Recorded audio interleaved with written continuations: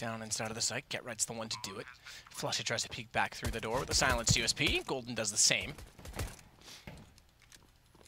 He missed Dennis in these rounds at times because he'd explode into a site and find multiple kills. They may still do so. Get Right tagged down to just 17 HP as he sits with f0rest to watch the door. f0rest, big miss shots on the P250. That's going to cost him his life. Rez, good response though. So too from Get Right. And Rez still has an angle to play this from a 1 versus 2. Low HP. He's trying to isolate it, trying to dance around the pillar. A little bit of a pole dance, perhaps get some money for it. The problem is they're already on the defuse and Lekr0 holds off. Yeah, it's the kit player as well. It's going to be flush out. Nice call there. The smoke deployed as well. Rez did a